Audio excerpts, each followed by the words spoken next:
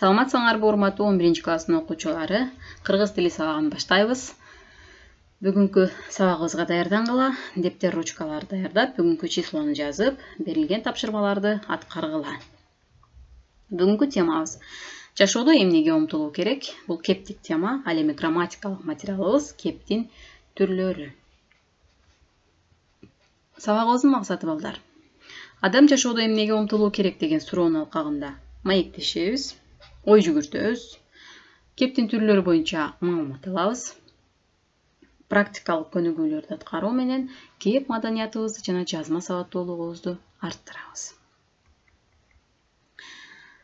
демек биздин кептик темабыз адам жашоодо эмнеге умтулуу керек э бул дегени ошол ар бирибиздин Э, көз алдыбызга элестелиш керек. Биз эмнеге умтулушубуз керек. Бизди алда эмнелер күтүп турат биздин жашообуз кандай болуш керек? деген сыяктуу суроолордун алкагында ой жүгүртөт экенбиз жашоонун кубатын алган адам бактылуу жашоонун сабагын алган адам акылдуу жашоонун белгисин билген адам олуя бул дегени жашоодон кубат алган адам бактылуу болот экен Э, жашоодон сабак алган адам акылдуу болот экен э кандайдыр бир окуядан улам кандайдыр бир иштен улам сабак алгандан кийин анан адам акылдуу боло баштайт ал эми жашоонун белгисин билген адам улуя дейт улуя дегени бул балдар алдын ала боло турган окуяларды сезе билген адамды биз олуя дейбиз жашоонун негизин кармаган адам бакыттуу жашоонун азабын тарткан адам муңдуу жашоодо адашкан адам аянычтуу чындыгында эле жашоонун негизин өзөгүн кармаган кишилер кадыр барктуу абройлуу болот ал эми жашоодо азап тарткан адамдар муңдуу кайгылуу болот э туура жолдон адашкан адамдарга болсо биз аянычтуу көз караш менен көз карайбыз бул аянычтуу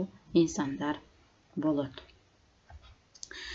адамдардын балдар түшүнүгү боюнча бул дүйнөдө үч түрдүү байлык болот экен адамдын жашоосунда үч түрдүү байлык болот экен бул кайсы байлык деп ойлойсуңар биринчи байлык жан дүйнөнүн байлыгы экинчи байлык акыл байлыгы үчүнчүсү казына байлыгы демек адам баласы бул жашоодо мына ушул үч түрдүү байлыгын көбөйтүү өстүрүү үчүн алдыга карай умтулуп ушуларга карай багыт алып жашоосу зарыл экен жан дүйнөнүн байлыгы бул биздин өзүбүздүн ички дүйнөбүз мыкты сапаттарыбызды өнүктүрүү адамдар менен болгон мамилебизди оңдоо сыяктуу өзүбүздүн жан дүйнөбүздүн байлыгын өстүрүшүбүз керек ал эми акыл байлыгын каяктан алат бул адам өзүнүн ушул турмуштук окуяларынан улам же болбосо кандайдыр бир маалымат булактарынан окуу аркылуу өзүнүн акыл эсин акыл кенчин өнүктүрүп отурат ал эми казына байлыгы болсо адал эмгек менен маңдай тер менен иштеп тапкан материалдык кандайдыр бир байлыгы бул акча болушу мүмкүн үй болушу мүмкүн дагы башка түрдүү материалдык формада болушу мүмкүн демек ушул үч түрдүү байлыкты өнүктүрүү үчүн адам баласы алдыга карай умтулуп жашайт. Анда грамматикалык темабызга келели балдар. Кыргыз адабий тили ооз эки жана жазма тил болуп экиге бөлүнөрүн силер билесиңер. Ооз эки жана жазма э? Адам баласынын күндөлүк турмушунда бири бири менен пикир алышып сүйлөшкөн сөздөрүн биз ооз эки тил деп айтабыз. Досторуңар менен үйдө ата энеңер менен сүйлөшкөн э, тил. Э бул ооз эки тил пикир алышуунун эң зарыл куралы болуп эсептелет. Эл арасында ооз эки жашайт. Диалект жаргондорго кеңири орун берилет. Эмоциялык белгилер кеңири колдонулат. Мисалы үчүн сүйлөп атканыбызда иинди куушуруп желкени көтөрүп коебуз көзүбүздү ымдап коебуз же болбосо колду ары бери жаңсайбыз э ушул сыяктуу түрдүү эмоциялык белгилер менен. Ошондой эле диалектте жаргондорго өзүбүздүн тар чөйрөбүздө гана түшүнүктүү болгон сөздөргө көп басым жасалат экен.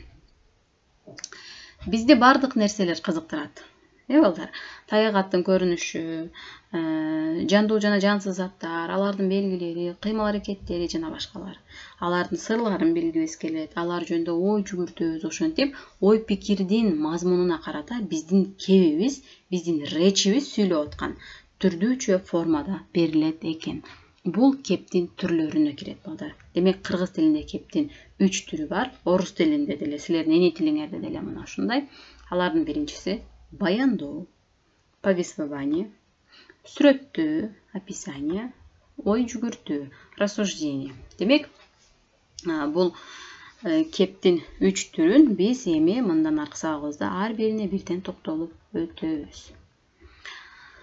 Көңүл бурабыз демек э, биринчи түрү кептин баяндоо дедик экинчи түрү ой жүгүртүү дедик э, үчүнчү түрү э, сүрөттөө дедик э сүрөттөө дагы өзүнчө орунду сүрөттөө нерсени буюмду сүрөттөө айлана чөйрөнү абалды сүрөттөө жана кишини сүрөттөө болуп бөлүнүп кетет экен сүрөткө карап баяндоо текстин түзүп көргүлө баяндоо текстин түзүп көргүлө сүрөттө демек кимдер бар алар кайсы жерде турат алар эмне кылып жатышат? Кыймыл аракет окуя каармандар болуш керек балдар баяндоодо э? Бул жерде эне менен баланын бактылуу көз ирмемдери чагылдырылып турат. Энеси баласын кучактап көтөрүп анын бетинен сүйүп турат. Ал эми баласы болсо кубанычтуу көзүндө толо бакыт. Бул сүрөткө карап болсо балдар сүрөттөө текстин түзүп көргүлө. Сүрөттөө текстин түзгөндө биз көрүп турган затыбызды нерсебиздин түрдүү белгилерин ачып беришибиз керек экен мисалы үчүн бул конок бөлмөсү бөлмөдө диван отургуч бар стол бар столдун үстүндө кооз гүл турат дубалда сүрөт илинип турат ал колдо тартылган ошондой эле бөлмөдө жарыктандыруучу светильник бар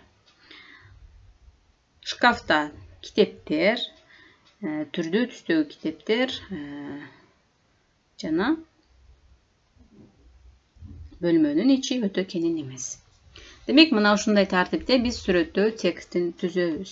Дептериңерге жазгыла бул сүрөттөгү силер көрүп турган окуяны баяндоо текстин жана бул жердеги э, сүрөттөө текстин жазып чыккыла. Так андан ары тапшырма алгыла үйгө балдар. Демек китебиңердин кырк сегизинчи көнүгүүсү бул жерде уламыш берилген. Силерге уламышты окуп чыгасыңар түшүнөсүңөр аны өз сөзүңөр менен айтып бересиңер.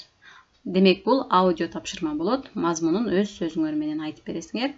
Айтып бергенден кийин жанагы э, мен жогоруда схема көрсөттүм. Э, баяндоо э, сүрөттөө сүрөттөөнүн түрлөрү деп э ошол тексттин кептин кайсы түрүнө кирээрин аныктайсыңар бул текст баяндоо же сүрөттөө же ой жүгүртүү тапшырманы аткарып өз мугалимиңерге жөнөткүлө сабагыбыз соңуна чыкты саламатта тургула